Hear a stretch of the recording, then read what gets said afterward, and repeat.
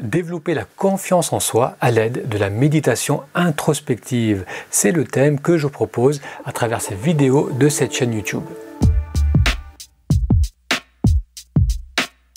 Je m'appelle Moutassem Amour, j'ai une formation de chiropracticien et je pratique la méditation. Je suis né au Liban, mais je suis venu très jeune en France.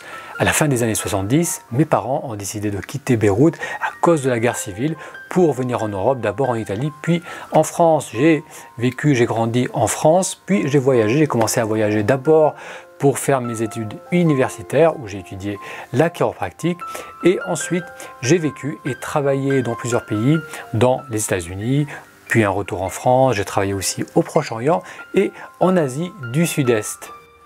En parallèle de mon activité de chiropracticien, j'animais des ateliers, des conférences qui tournaient autour de la santé, de la prévention, de tout ce qui pouvait améliorer le mieux-être. Puis de 2006 à 2008, j'ai coédité avec les éditions Akeos une revue santé qui s'appelait Vitalité et bien-être. Et après, j'ai écrit des articles pour des revues papier, principalement internationales, qui portaient sur le yoga, la méditation et le développement personnel. Depuis 2012, et là on se rapproche d'aujourd'hui, je propose sur Internet un podcast, donc des épisodes audio, je propose un blog et euh, une chaîne YouTube qui tourne autour de la confiance en soi et de comment la méditation introspective nous aide à développer cette confiance en soi.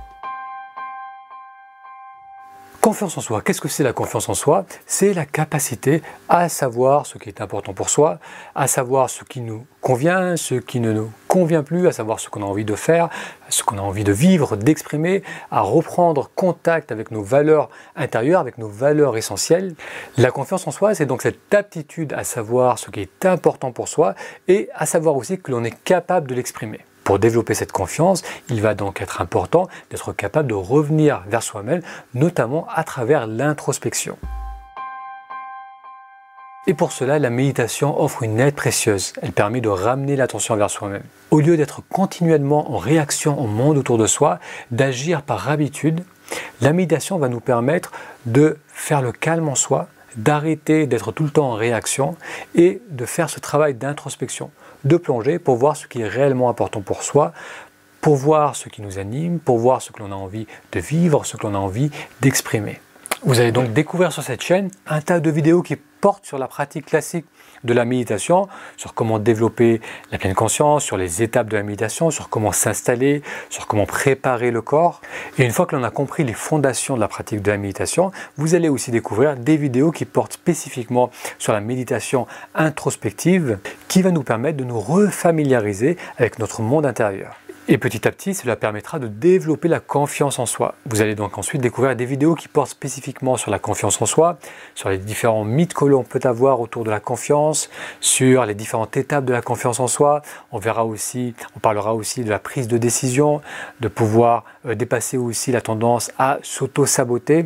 Vous allez découvrir des vidéos où je partage mon expérience, mais aussi d'autres vidéos où je fais intervenir d'autres personnes, des psychologues, des médecins, des auteurs, des professionnels du développement personnel. Tout cela pour approfondir le sujet de la confiance en soi. Et ensuite, une fois que l'on a appris à revenir vers soi à l'aide de la méditation introspective, que l'on commence à développer cette confiance en soi, l'étape naturelle qui va suivre ensuite, c'est l'expression de soi. Nous sommes des êtres sociaux, on a besoin d'exprimer ce que l'on ressent. Donc c'est important de revenir vers soi, de découvrir quelles sont nos valeurs, qu'est-ce que l'on a envie de partager, d'exprimer. Et tout aussi important ensuite, ça va être de l'exprimer et de l'amener au monde autour de soi. Vous trouverez donc aussi des vidéos qui portent sur l'expression de soi, sur l'expression de sa créativité. Vous allez voir des témoignages de personnes qui ont trouvé leur voie, qui ont su ce qu'elles avaient envie d'exprimer, qui ont découvert ce qui était vraiment important pour elles et qui l'ont exprimé. Vous allez aussi découvrir des vidéos sur la persévérance. Car lorsque l'on commence à prendre appui en soi et que l'on commence à exprimer ce qui est important pour nous, on rencontre parfois une résistance extérieure, que ce soit de la part de la famille, euh, d'un conjoint, dans le milieu du travail. Le risque alors est de revenir dans nos vieilles habitudes, de mettre de côté ce qui est important pour soi. Pour aller au-delà de cela, très souvent, il faut une certaine persévérance, il faut donc nourrir cette confiance, vraiment savoir ce qui est important pour soi et continuer à l'exprimer. Et donc vous allez découvrir des vidéos de personnes qui l'ont fait et qui ont réussi à passer à travers des obstacles et qui ont fini par créer une vie bien plus épanouie et une vie, et une vie qui reflètent leurs valeurs, qui reflètent ce qui est vraiment important pour eux. Donc depuis 2012, je propose du contenu sur comment développer la confiance en soi à l'aide de la méditation introspective. Alors je continue à le faire régulièrement, toutes les semaines, je publie de nouveaux, nouvelles vidéos, de nouveaux épisodes du podcast parce qu'il y a un intérêt, il y a de plus en plus de personnes qui suivent ces épisodes. Chaque année, c'est plus de 300 000 personnes qui téléchargent des épisodes du podcast et la chaîne YouTube commence aussi à se développer. Donc si le sujet de comment développer la confiance en soi à l'aide de la méditation introspective vous intéresse, je ne peux que vous inviter à explorer les vidéos de cette chaîne, à vous abonner pour être informé des prochaines publications. En ce moment, je publie de nouvelles vidéos semaine. Et pour aller plus loin, voilà deux liens que je vais vous communiquer. Vous verrez à travers les vidéos, j'en parle encore et encore. Le premier, c'est taméditation.com, taméditation.com qui vous permet de découvrir les bases, les fondations de la méditation. C'est un petit programme que j'ai créé qui est gratuit, qui est libre d'accès. Plus de 12 000 personnes ont déjà suivi ce mini-programme et ça vous permet de découvrir les fondations de la méditation, de comment faire une séance de méditation, comment s'installer et comment canaliser l'attention. Donc il vous suffit d'aller sur taméditation.com. Le deuxième lien que j'aimerais partager avec vous, c'est maboutiquezen.com.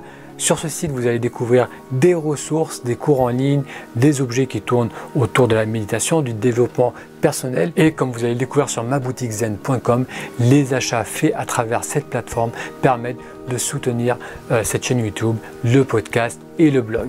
Merci pour votre attention et au plaisir d'échanger avec vous.